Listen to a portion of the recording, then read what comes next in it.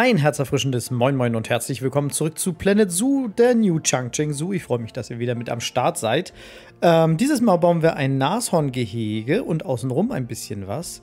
Aber das äh, soll nicht das erste sein, denn. Erstmal allerdings Dankeschön an Instant Gaming, die dieses Video hier heute sponsern. Instant Gaming ist in der Videobeschreibung verlinkt. Dort kannst du Spiele kaufen mit richtig dicken Rabatten. Außerdem kannst du natürlich PlayStation, Xbox und PC-Spiele kaufen. Und da kannst du einige Sachen sparen. Die haben auch einen guten Kundenservice und sind sicher und zuverlässig. Außerdem kannst du auch Ingame-Währung kaufen, wie zum Beispiel FIFA Points, wenn du darauf Bock hast und Pay-to-Win unterwegs bist.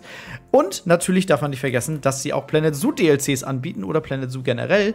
Wenn du also noch ein DLC brauchst oder noch gar kein äh, Planet Zoo hast, dann schau doch einfach auf Instant Gaming vorbei und und gönn dir einfach mal ein DLC mit äh, richtig, richtig vielen Rabatten. Die haben ansonsten auch immer die neuesten Spiele am Start. In der Videobeschreibung ist, wie gesagt, ein Link verlinkt. Äh, klick einfach mal drauf, stöber einfach mal auf der Seite und äh, vielleicht ist dein nächstes Lieblingsspiel ja dabei. Vielleicht. Vielleicht ist dein nächstes Lieblingsspiel dabei. Aber äh, ich weiß, dass mein Lieblingsspiel Planet Zoo ist. Und das kann man dort auch äh, günstig erwerben. Ähm, ja, ich, lange ist es her, dass wir den New Changcheng Zoo unterwegs hatten. Oder dass wir den dabei. Nee, dass wir im New Changcheng Zoo unterwegs waren. Ähm, hier jetzt ein paar Workshop-Items. Ich benutze diese Steinwände. Ich weiß nicht, sind die von Caesar Creates? Ähm, die sind auf jeden Fall mega, mega cool. Das sind ja die Stalagmiten, glaube ich und unechten äh, Holzstämme zusammen. Und die haben wir viel im Stream benutzt. Ich streame ja immer noch, jeden Donnerstag, jeden Donnerstagabend kannst du mal vorbeischauen, auch hier auf YouTube. Denn äh, sowohl auf YouTube als auch auf Twitch wird gestreamt äh, gleichzeitig und äh, du wählst einfach die Plattform aus, die dir am meisten Spaß macht. Und dann kann das sein, dass, äh, ja, dass wir da gemeinschaftlich chatten. Und da benutzen wir übrigens auch diese äh, Rückwände. Und die benutze ich hier jetzt auch äh, deutlich mehr. Grundsätzlich fragt ihr ja auch immer, wie lange hat das alles hier gedauert, Guru? Und ich kann euch sagen, dass das Bild jetzt, also das Video, ungefähr zwei Stunden plus minus äh, ein paar zerquetschte gedauert hat. Also äh, gar nicht so äh, schlecht, aber ich war mega kreativ plötzlich auf einmal. Da hat es mich, da hat es mich so über, über, übermannt. Und äh, ich habe diese Ecke ähm, gut vorangebracht, sage ich jetzt mal. Grundsätzlich möchte ich ja sagen, dass ich nicht abweisend bin solchen äh, Sachen aus dem Workshop gegenüber, denn, und das muss man an der Stelle auch einfach sagen, dass sowas bauen mega cool und mega zeitaufwendig ist. Deswegen finde ich es nice, dass das gemacht wurde und ich glaube auch, dass das im New Changcheng Zoo völlig okay ist, dass wir das damit einbeziehen. Übrigens, was auch völlig okay ist, ist, wenn du diesen Kanal abonnierst, das hast du vielleicht noch gar nicht gemacht, denn über 50 Prozent, es sind tatsächlich 51 Prozent wieder, von euch schauen meine Videos und haben meinen Kanal gar nicht abonniert. Ja, das ist ein Fehler. Da sollte man mal beigehen, finde ich. Ja, das wollte ich mal so erwähnt haben. Dann ist mir aufgefallen, dass ich einen Fehler gemacht habe und ich habe die gemäßigten Steine genommen und wir sind im Tigerbiom. Skandal, Freunde, Skandal. Deswegen musste ich nochmal beigehen, musste ich das Ganze nochmal ein bisschen, ähm, ja, ein bisschen mischen. Äh, mischen ist, ist immer eine, eine gute Sache. Und ähm, dementsprechend ist das eigentlich auch ganz okay gewesen. Im Hintergrund übrigens der Mulchsong für die Leute, die es nicht wissen. Äh, die Livestream-Zuschauer werden sich freuen. Und wir haben jetzt auch schon ein bisschen gemulcht im Gehege. Wir mulchen grundsätzlich nicht so mega viel im New Changcheng Zoo. Das äh, irritiert mich ein wenig, dass wir noch nicht so viel gemulcht haben. Aber es ist ja, ist ja gar kein Problem. Man muss ja auch nicht immer komplett mulchen. Ne? Man kann ja auch mal, mal ein bisschen weniger mulchen. also nicht, dass man jetzt wenig mulchen sollte, finde ich. Naja.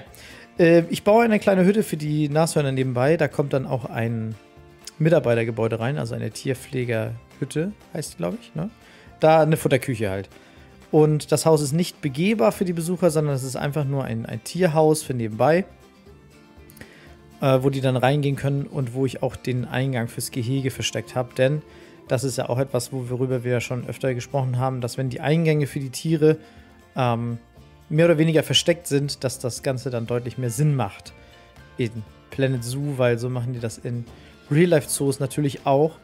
Und ich verstecke das dann hier jetzt in einem Gebäude. Das Gebäude, wie gesagt, es ist nichts weltbewegendes, es ist nichts krass Aufregendes. Es ist einfach ein Standardgebäude. Ähm, aber wir bauen es mal, mal mit rein, würde ich sagen. Und das ist vielleicht auch gar nicht so mega schlecht. Finde ich. Äh, schlecht finde ich immer diese Wege, diese Mitarbeiterwege. Ich finde, dass das äh, tatsächlich. Hätten sie das ja mal ändern können, dass man auch andere Mitarbeiterwege machen kann. Oder dass man normale, in Anführungsstrichen, Wege als Mitarbeiterwege kennzeichnen könnte. Das wäre auch eine coole Sache. Apropos coole Sache, vielleicht haben ja der ein oder andere Planet Zoo ja auch schon auf der Konsole gespielt. Da war ich ja leider nicht dabei, denn ich habe ja immer noch keine Konsole. Das ändert sich vielleicht in Zukunft irgendwie, dass man da dann auch mal was schauen kann. Ähm, ich habe auf jeden Fall viele Nachrichten bekommen. Guru, besuchst du auch Zoos auf der PlayStation oder auf der Xbox? Beides wird natürlich nicht gehen, so viel kann ich euch jetzt an der Stelle schon mal sagen. Aber ich möchte nicht ausschließen, dass das nicht in Zukunft, weil Planet Zoo auf der Konsole wird ja ein Jahr laufen, dass das in der Zukunft vielleicht passieren wird. Denn, und das möchte ich dann an der Stelle auch nochmal sagen, es, es ist ja möglich, dass man, äh, dass man sich eine Konsole in Zukunft kauft. Und ähm, das ist vielleicht auch noch wichtig zu sagen. Deswegen haben wir möglicherweise auch äh, einen Sponsor jetzt in dem, in dem Video. Das äh, ist ja auch eine Zusammenarbeit, die man sich da da so auf jeden Fall vorstellen kann, dass das irgendwie in Zukunft dann auch helfen könnte. Auf irgendeine Art und Weise. So, der ganze Kram äh, wird auch besser. Ich baue jetzt hier diese Nashorn-Statue, die äh, mega cool ist. Äh, ich bin allerdings überrascht, dass das Gelbe in der Nashorn-Statue nicht entfernt werden kann. Weil damit hätte ich jetzt eigentlich gerechnet, muss ich ganz ehrlich sagen. Ähm, es ist halt, wie es ist. Dann ist mir aufgefallen, dass ich ein paar Steine nicht in der Gruppe hatte. Das ändert man dann natürlich bei Gelegenheit direkt. Und äh, grundsätzlich muss ich sagen, dass das Gehege eigentlich ganz, ganz zufriedenstellend ist. Es ist nicht so groß, wie Nashörner es haben könnten. Also wir bewegen uns wirklich am, am Minimum von dem, was erlaubt ist für die äh, Spitzmaulnashörner, die wir hier gebaut haben. Ist auch wichtig, dass das die Spitzmaulnashörner sind und nicht die Breitmaulnashörner. Denn die Spitzmaulnashörner habe ich tatsächlich noch gar nicht gehabt sind ja damals mit einem. Ich weiß gar nicht mehr, mit welchem Pack die gekommen sind. War das das Grasland-Pack? Also sind auch schon mega lange im Spiel. Und ich fand sie auch cool, als sie reinkamen, aber ich habe sie nicht gebaut. Und es liegt vielleicht auch daran, dass man. Nashörner sind halt große Tiere. Also. Also, ja, das, ja, das gibt sie natürlich selbst, dass es große Tiere sind. Aber Nashörner sind halt Highlight-Tiere. Und gerade im New Changcheng Zoo haben wir so viele Highlight-Tiere, meiner Meinung nach, dass wir uns da auch ein bisschen bisschen zügeln müssen, aber jetzt haben wir trotzdem Nashörner gebaut. Und vorne vor dem Nashorngehege, diese Grünfläche, die ist jetzt noch ein bisschen größer geworden, weil ich den Mittelweg, äh, den ihr da sehen könnt, den habe ich entfernt. Und da müssen wir gleich im, im Realtime-Part, also gleich und gleich, im Realtime-Part auf jeden Fall nochmal beigehen und gucken, äh, ob da noch ein Gehege hinkommt. Ich würde da auf jeden Fall ein kleines Tier noch irgendwie sehen. Ähm, kann mich auch gerade gar nicht daran erinnern, was in den letzten Packs, ob da kleine Tiere dabei waren die da gut reinpassen würden. Im Eurasien-Pack. Wildschweine vielleicht, die haben wir auch noch nicht gehabt. Wir müssen auch mal gucken, welche Tiere wir noch gar nicht gehabt haben. Ähm, und dann, also Fans vom New Changcheng Zoo werden ja auch wissen, äh, wir nähern uns ja wie gesagt dem Ende. Deswegen, ich weiß nicht, es gibt ja auch die Leute, die fragen dann, wann kommt der New Changcheng Zoo? Ich verstehe es ja, ich verstehe es ja, aber ihr müsst auch bedenken, wenn da richtig viele Folgen kommen, ja, dann ist da auch irgendwann zu Ende, ne? Weil größer als so wird er nicht. Ich werde nicht nochmal einen Bereich aufmachen. Wir werden hier nicht so ein Morningside-Ding machen oder so ein Schönhausen-Ding. Aber generell muss man auch sagen, wenn ihr mal überlegt, wie viele, wie viele Planet Zoos Zoos wir mittlerweile auch hatten und wie die sich auch alle entwickelt haben, ähm, finde ich schon krass. Ich würde gerne, und das ist, das, das sage ich jetzt, das sage ich jetzt hier im, im Video, und das, da, da werde ich wahrscheinlich drauf festgenagelt irgendwann. Ich würde ja gerne noch mal zurück nach äh, in die Zoologische Dänemark oder nach Bahia, ne? Und da noch mal updaten so ein bisschen. So ein kleines Makeover machen. Jetzt habe ich es gesagt. Jetzt habe ich es gesagt. Das wäre das wär noch mal so ein kleines Träumchen von mir, dass ich da noch mal, dass wir da noch mal zurückgehen und noch mal beigehen irgendwie. Das könnte schön werden. Naja. Weil ich meine, wenn ihr euch auch die Gehegegestaltung jetzt hier anguckt und einige von euch schauen ja auch teilweise noch die alten Serien, ähm, hier auf YouTube. Grüße gehen raus an alle, die die, die alten Serien noch gucken. Und Grüße gehen natürlich raus an alle die, das mache ich ja zwischendurch auch mal, die Leute begrüße, die das Video jetzt hier später sehen, als dann, wann es rauskommt. Und da meine ich jetzt, ja, wenn du jetzt zwei, drei Monate später bist, ja, dann schreib das doch gerne mal in die Kommentare. Das machen einige von euch auch. Das freut mich jedes Mal, wenn ich dann äh, ja hier die ersten äh, New Chang Chen Su Videos sehe oder die ersten äh, aus Schönhausen oder so, wo ich das gemacht habe. Das ist auf jeden Fall ziemlich, ziemlich witzig. Generell muss ich sagen, ich freue mich über alle Kommentare sehr. Und die helfen ja auch tatsächlich. Ähm, man überlegt ja manchmal, wie kann das dann helfen? Wie können solche Kommentare dann helfen? Aber die helfen in diesem YouTube-Algorithmus, der das dann gut findet. Interaktionen sind nämlich gute Interaktionen. oder alle Interaktionen sind grundsätzlich gut. Äh, es gibt dann jetzt aktuell auch immer noch diese, diese Bots, die dann darunter posten. Die lösche ich natürlich. Das sind natürlich keine guten Interaktionen. Das mal so vorweg. Wie gesagt, das Haus hier, das Nashornhaus, ist jetzt nichts Weltbewegendes, es ist nichts Aufregend Spezielles. Es ist ein Standard Nashornhaus in meiner Welt, äh, ein Standardgebäude mit einem Flachdach. Ich bin ja großer Freund von diesen Flachdächern, ich weiß auch nicht. Erst wollte ich ja mal in diesen chinesischen Weg gehen, aber komm, ich glaube, wir gehen jetzt auch mal in den, den Flachdachweg, denn, und das muss man an der Stelle einfach sagen, es funktioniert in meiner Welt am besten und es sieht halt einfach fantastisch aus, wenn man dran vorbeigeht so auf Main lässt grüßen. Den vergisst man übrigens. Das ist ja eine, in, in meiner Welt ja schon eine Miniserie mit 20 Folgen. Ähm, ja. Aber, aber es ist ja auch nicht schlecht, eine Miniserie zu haben. In meiner Welt. Und das ähm, müssen wir mal gucken, wie, wie, das, wie das in Zukunft äh, funktionieren könnte. Ich habe noch ein paar andere Ideen ähm, zu anderen äh, Videos noch. Und ich bin auch wieder motiviert. Ich sag's, wie es ist. Ich bin wieder motiviert. Wir haben auch, äh, sind durch so, ein, so eine kleine Down-Phase gegangen, sag ich mal. Äh, Gerade äh, nicht direkt Anfang des Jahres, aber wir waren so im, im Februar viel. Ähm, da, äh, da hatte ich nicht so, da hatte ich nicht so, so mega viele, ähm, nicht so mega viel Motivation und wurde auch nicht so oft von der Muse geküsst und so. Und dann muss man halt überlegen, okay, wie, wie macht man weiter? Kann man weitermachen? Und was macht man denn, wenn man weitermacht? Und äh, jetzt bin ich wieder, wieder am Start. Ich sag's, wie es ist. Jetzt bin ich wieder am Start. Ich werde mich auch heute, später, weil aktuell in meiner Welt sind Osterferien, und da werde ich mich dann hinsetzen und da werde ich dann vielleicht auch schon das nächste Video aufnehmen, sodass das äh, zeitnah äh, entstehen kann. Und ich weiß, das habe ich letztes Mal auch schon gesagt.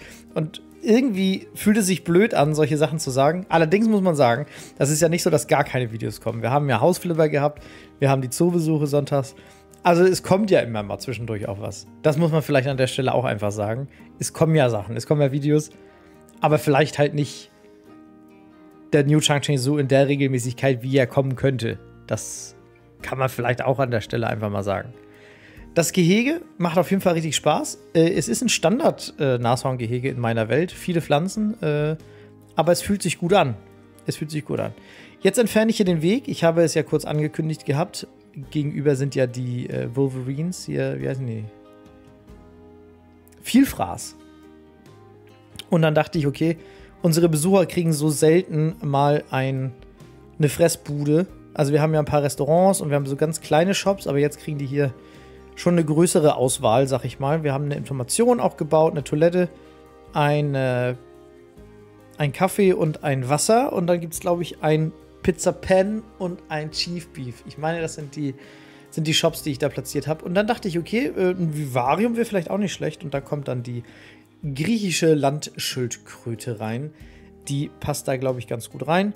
Ähm, ich finde eins, eins der, der netteren äh, Vivarientiere, was man in so ein freistehendes Vivarium machen kann, weil man muss vielleicht an der Stelle auch einfach sagen, wenn du andere Vivarientiere machst, gefühlt müssen die immer in solchen Tropenhäusern stehen oder so. Da macht das auf jeden Fall deutlich mehr Sinn. Die Landschildkröten kannst du hier gut reinmachen.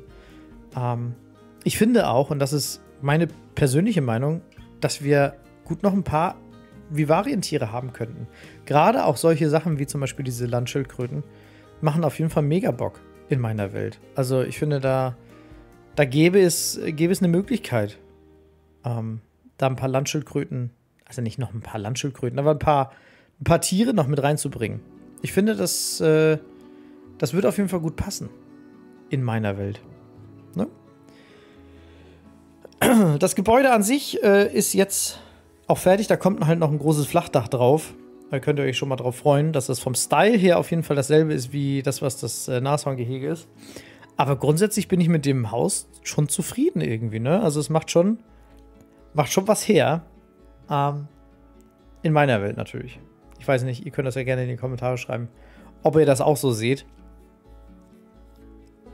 Und dann, ähm, dann passiert da, glaube ich, auch gar nicht mehr so mega viel. Also das Video geht natürlich noch ein bisschen, aber, aber es passiert nicht mehr so viel, was, was krass gebaut ist, sag ich mal, sondern es kommen dann halt noch so Pflanzen und Steine, also die Sachen, die wichtig sind. Und das ist ja auch etwas, was ich hier in diesem Zoo auch wieder gemerkt habe. Und ich sage das euch jedes Mal, dieses, dass man Sachen außerhalb der Gehege direkt macht, wird man auf der Ecke ist.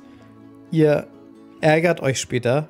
Das habe ich ja auch gemacht, wenn man zurückgehen muss und in alte Gebiete gehen muss und da dann die Ecken voll machen muss. Und das hatten wir damals bei Maine, im Zoo of Maine hatten wir das ja äh, neu gemacht. Also da haben wir gesagt, okay, wir machen das aktiv, werden da keine, ähm, werden da keine Lücken gelassen. Und das haben wir dann im New Changcheng Zoo nicht so übernommen. Aber da muss man, das muss man vielleicht auch an der Stelle einfach sagen, das ist ein Fehler meinerseits. Na, das, ist ein, das ist ein Fehler meinerseits, dass ich das wieder nicht, wieder nicht richtig übernommen habe. Diese Flachdachgebäude, wenn ihr die gerne im Workshop haben möchtet, dann äh, schreibt das gerne mal in die Kommentare. Schreibt in die Kommis, ne? Und dann äh, lade ich die einfach mal hoch.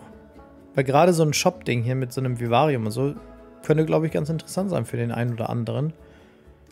Ähm, Denke ich zumindest, das doch eigentlich ganz cool sein könnte. Und so schlecht sind die, glaube ich, gar nicht. Ich habe relativ darauf geachtet. Ich glaube, es gibt eine Stelle, wo Z-Fighting ist. Das Z-Fighting beim Vivarium habe ich mit diesen, äh, mit diesen Stelzen hier, mit diesen Stülzen unterbunden. Aber ich glaube, oben im Dach gibt es eine Stelle, aber nach hinten raus, wo Z-Fighting ist. Generell muss man vielleicht an der Stelle einfach sagen, dass das Gebäude natürlich davon geprägt ist, dass es nach hinten raus nicht gesehen wird. Also wenn ihr das runterladen solltet, dann müsst ihr nach hinten raus auf jeden Fall äh, nochmal ein paar Fenster machen. Aber aber ja. Das kann man auf jeden Fall mal machen. So. Die griechische Landschildkröte ist eingezogen und sie bekommt alles, was sie braucht, alles, was sie benötigt. Dann benötigen unsere Besucher natürlich ein bisschen Bildung, die bekommen sie auch. Und ähm, dann ist das Gebäude an sich ja, wie gesagt, auch schon fertig. Und dann kommen außenrum halt noch die Zäune. Äh, hier die Fenster, wie gesagt, die müsst ihr dann nach hinten raus nochmal kopieren und noch ein bisschen platzieren. Äh, und dasselbe mit, mit dem Efeu, das habe ich nicht machen müssen, denn ähm, dadurch, dass der Zoo hinten halt abgeschlossen ist, ist das halt nicht so mega wichtig. kann, man das, kann man das so sagen? Ich glaube ja. Das ist. Man braucht das halt nicht, wenn, wenn man das hinten nicht sehen kann. Ich weiß, dass einige das machen, aber im Endeffekt geht es ja darum, dass wenn man sich vorstellt, dass man hier im Zoo zu Besuch ist, das muss ja nur vorne Fui sein und hinten kann es ja ruhig, ruhig verhältnismäßig Fui sein, ne? äh, so ist das auch. Deswegen finde ich Backstage-Areas, die wir bauen, auch müssen nicht so, so mega hart clean sein. Wenn du die sehen kannst als Besucher, dann ja, aber grundsätzlich eigentlich eher nicht. Ähm, wie zum Beispiel auch das Nashorn-Gebäude. Da ist ja auch nichts Spezielles drin im Nashorn-Gebäude. Aber es geht halt, weil es eine, eine Art Backstage-Area ist. Deswegen geht das halt voll klar. Was auch voll klar geht, sind immer diese Zäune zu platzieren. Das ist immer sehr anstrengend. Das ist immer sehr, sehr viel Arbeit. Aber in meiner Welt äh, lohnt es sich. Es lohnt sich immer, äh, Backstage-Areas zu platzieren, zu machen, zu bauen. Ähm, Finde ich auf jeden Fall immer, immer gut und immer wichtig.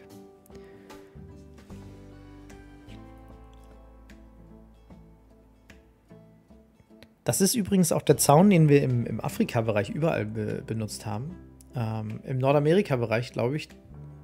Und ich, ich weiß auch nicht, ich habe irgendwann ist es, ist es umgekippt oder ist es dazu getwistet, dass man Bereiche macht. Man hat eine Tendenz dazu, dass das, dass das Sinn macht, dass man so ein paar Bereiche macht. Aber man muss dazu auch sagen, dass es im Prinzip egal sein kann, ähm, wie man, wie man die, die Gehege einrichtet und wo man sie einrichtet. Weil so grundsätzlich ist das halt nicht so wichtig, glaube ich. Und es ist auch interessant, wenn du, wenn du halt so eine schöne Mischung hast an, an, an Tieren, ne? Ich weiß, also so grundsätzlich sehe ich das ja ein, dass wenn du zum Beispiel ähm, Kältetiere hast, so wie Eisbären und Pinguine und so, dass die dann zusammenleben, weil du dann, weil du dann darum äh, ja so ein bisschen ich glaube, dass das natürlich so rein, rein äh, ökonomisch und wie, wie, wie sie dann im Real Life die, die Fische zum Beispiel transportieren und solche Sachen, da macht das schon Sinn. Allerdings muss man auch sagen, im Spiel ist es ja im Prinzip egal, weil die, die Pfleger machen ja alles überall. In allen Tierpflegerhütten können sie ja äh, Futter für Gazellen und für Strauße und für äh, Löwen zubereiten. Deswegen ist das, glaube ich, im Spiel halt nicht so wichtig, aber im Real Life macht das schon, macht das dann doch schon Sinn. So. Die, ähm, die Timelapse nähert sich jetzt wirklich hier am Ende. Die äh, ganzen kleinen Ecken sind jetzt aufgefüllt mit Pflanzen, kaputten Bäumen und Sträuchern. Ich äh, denke, das ist der, die perfekte Möglichkeit zu sagen, dass gleich dann der Realtime-Part starten wird. Ich freue mich auf jeden Fall drauf, wenn ihr noch mit am Start seid. Beim Realtime-Part einfach noch mal drei, vier Minuten. Ihr kennt es ja, ihr kennt es ja mittlerweile. Das ist ja, ist ja eine Serie, die ihr auch gerne guckt. Ja. Äh, Würde mich auf jeden Fall überraschen, wenn, wenn ihr nicht die, die ersten Parts gesehen habt. Aber vielleicht, vielleicht gibt es ja auch den einen oder anderen, der jetzt damit anfängt. Äh, Wäre wär überraschend. Aber kann man auch machen. Meld dich, wie gesagt, gerne mal in den Kommentaren, äh, wie sich das gehört. An dieser Stelle nochmal danke übrigens an Instant Gaming fürs äh, Sponsorieren dieses Videos. Äh, wie gesagt, guckt gerne in der Videobeschreibung vorbei. Da ist der Link zum äh, Shop. Einfach mal gönnen. Und ähm, wir hören uns gleich im Realtime-Part wieder. Bis gleich. So, herzlich willkommen zum Realtime-Part vom Nashorn-Gehege. Und äh, ihr seht auch schon hier die Ecke, die wir jetzt ja eingerichtet haben. Lasst uns einmal reinstarten ins, ins Nashorn-Haus, was ja eher unspektakulär ist. Wie gesagt, hier ist eine Futterküche drin und hier gibt es dann ähm, den Schlafplatz der Nashörner. Und ähm, die sind dann hier am Start, die haben dann hier, hier draußen Bereich. Ich finde, das sind total tolle Tiere, muss ich ganz ehrlich sagen. Richtig, richtig schön gemacht von Frontier dass die mit im Spiel sind. Äh, sind ja schon länger drin, aber ich finde, dass das eine gute Erweiterung ist fürs, fürs Spiel generell, muss man sagen. Die sind ein bisschen hungrig. Wir rufen gleich mal einen Tierpfleger an, dass der hier mal vorbeikommt und unsere Tiere füttert. Äh, hier vorne fehlt scheinbar ein Mülleimer. Das können wir direkt eigentlich mal regeln an der Stelle. Da ist jetzt ein Mülleimer anstelle von da. Und äh, hier sehen wir die Nashörner dann, wie sie umherstreifen. Die beiden ähm, Spitzmaulnashörner. Das äh, geht mit dem, mit dem Kreisel um durch die ganze durch die Gegend. Ist aber auch, ist aber auch nicht schlecht. Und äh, hier haben wir einen kleinen Wasserfall jetzt. Den habe ich noch gebaut. Can you feel the love tonight? Japan Makak.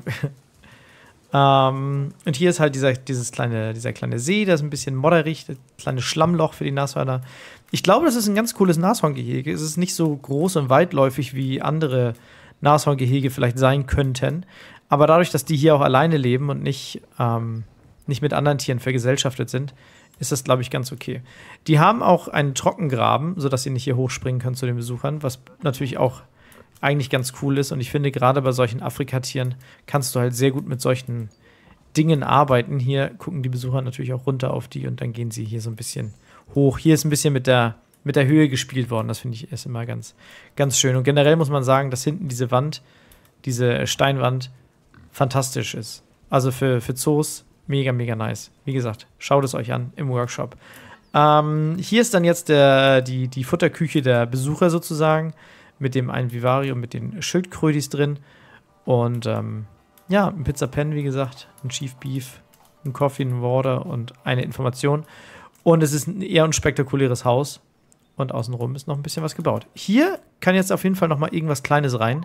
Das wäre ganz, ganz nice. Und dann möchte ich auch gerne, wie ich ja schon mal angekündigt habe, das Jaguar-Gehege hier hinten updaten oder vielleicht gar keine Jaguare haben. Das würde beides tatsächlich gehen in meiner Welt. Ich bin mir da noch unsicher. Das Einzige, was mir hier tatsächlich ganz okay gefällt, ist die Höhle. Die finde ich eigentlich ganz nice. Aber der Rest im Gehege ist so ein bisschen so ein bisschen mäh. Also das Gehege ist, ist mega unspektakulär und auch, es hat halt nichts, ist halt, halt nichts Spezielles. Deswegen würde ich das gerne und auch gerade hier mit dem, mit der, mit der Wand hinten und so. Es ist, es ist ein schlechtes Gehege, ich sag's wie es ist. Das muss auf jeden Fall neu gemacht werden. Und gerade hier auf der Ecke kann man schon was machen, glaube ich. Ich kann, man, ich, ich kann mir gut vorstellen, dass man hier was updaten kann. Müssen wir mal gucken. Das äh, wäre auch noch Zukunftsmusik. Und dann, wie gesagt, hier diese kleinen Dinge müssen natürlich auch alle gefüllt werden. Ne? So, das dann aber in der Zukunft. So, was auch in der Zukunft äh, passieren soll, ist, äh, wenn ihr euch noch mal ein weiteres Video anschaut. Und ansonsten sehen wir uns spätestens im nächsten Planet Zoo Video. Ich würde mich freuen. Danke für eure Aufmerksamkeit. Bis dahin, haut das mal rein.